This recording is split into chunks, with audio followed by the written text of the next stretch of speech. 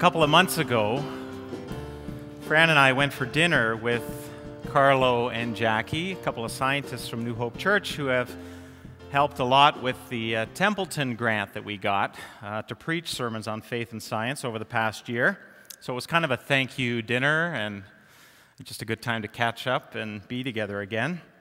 And then early on in the meal, Carlo looks at Jackie and says, you should tell them your good news. You should tell them your good news. And Jackie's never one to kind of flaunt her good news herself. But the good news was that she had just gotten notice that day that she was going to have an article published in the journal Nature Neuroscience, one of the, maybe the, the most prestigious neurological journals in the world, this 20 something year old young scientist, right? So it was just great news that we could share over good food and wine.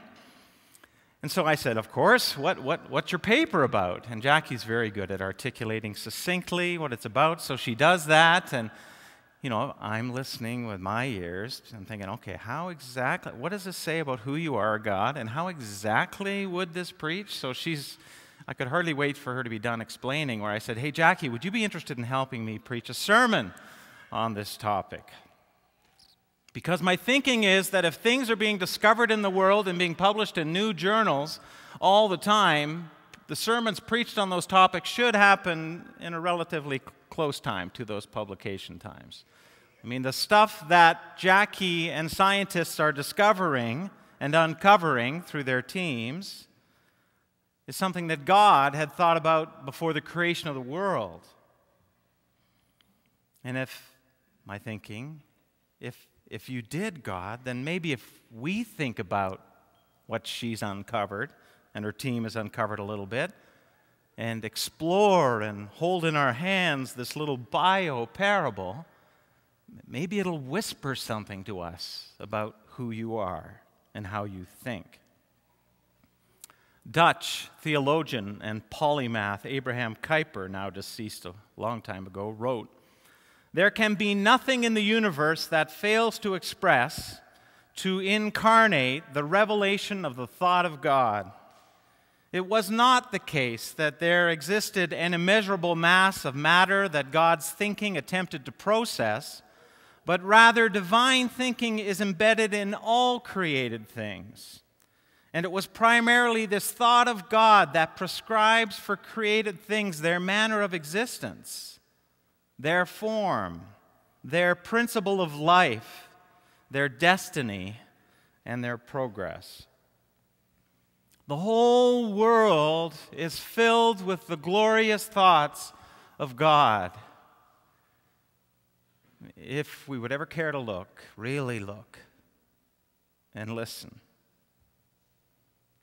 So, what exactly did Jackie and her team at the University of Calgary uncover.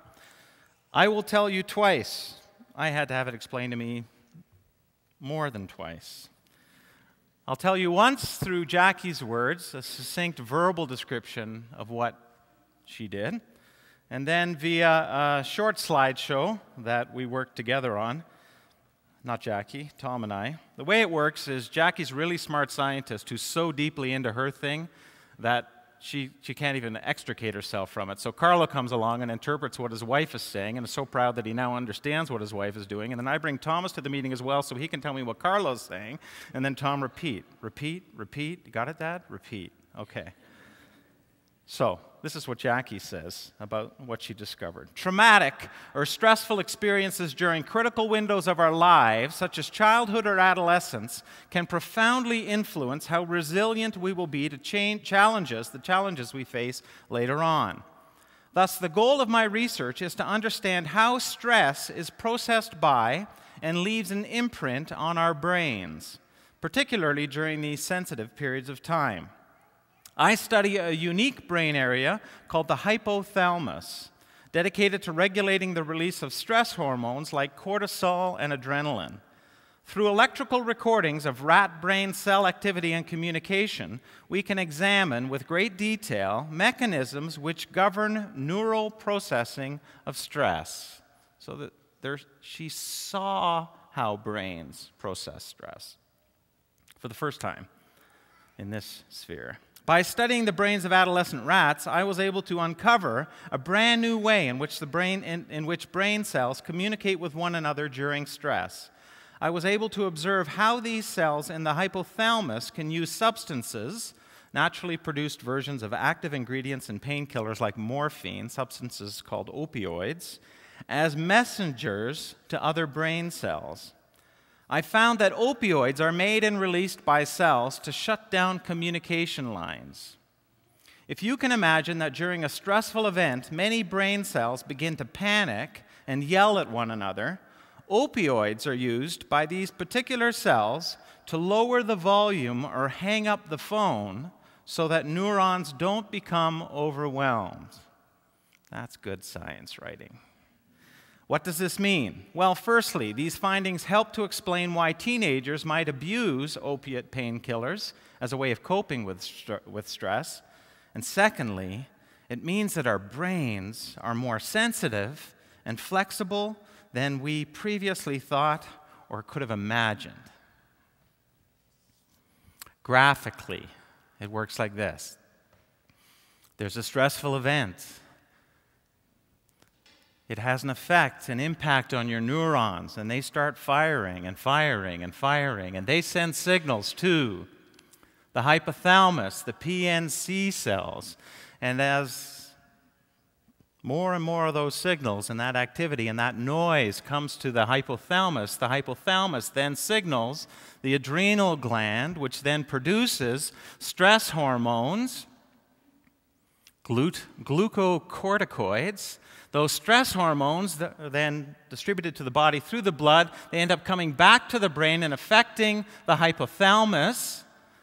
And when enough stress hormones at the right level, when that cycle of stress hormones being released into the body gets to the point where there are too many, there's too much stress hormone, the hypothalamus then releases, and this is what Jackie discovered opioids, drugs. And those opioids go back to the neurons that are freaking out and they turn down the noise.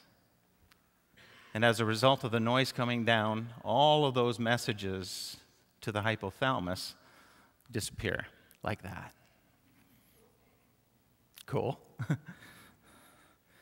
God built this biostress regulating mechanism into your brain so that you can have a better life and flourish a little bit more and, and not, not flourish as much.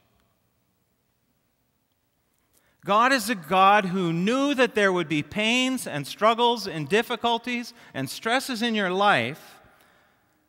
And knowing that at times those stresses would be so intense that they could be overwhelming and cause your brain to get so that new cells aren't being born and developed and grown and leaving a, a, lasting negative impact as a result of stress. Knowing that stress would be intense, sometimes rising up to here in your life, built a biomechanism into your brain to buy you some time. Jackie figures a period of about a day, these opioids turn everything down. Where the the, the neuron has a chance to be quieted and shielded from the torrent of signals. Knowing how much you could handle, God said, This far and no more. And I built that word into your physiology, into your very brains the prophet Isaiah using a beautiful metaphor image. When you pass through the waters, God says, I will be with you. And through the rivers, they shall not overwhelm you. When you walk through fire, you shall not be burned, and the flames shall not consume you. This far and no more. I'll put my comforting Holy Spirit into you as a stress regulator and a reminder and an illuminer to me. I'll remind you of stories of the Exodus where people were in captivity for way too long, and God said, This far and no more to captivity and slavery. Now you're going to have a freedom and the ecstasy of walking out of that place and moving into a new place. I'll remind you about freed paralytics and freed sinners. This much bodily struggle and no more. This much bad behavior and no more. In difficult times, when you turn your face to me, you'll see that my face has been turned to you forever. And I'll take you under my wing, such a calm and biblical image. And I'll shelter you, and you will feel my strength. You'll feel my heart beating next to your racing heart. This far and no more. You'll know my strength. You'll know how I carried you on eagle's wings and brought you to myself.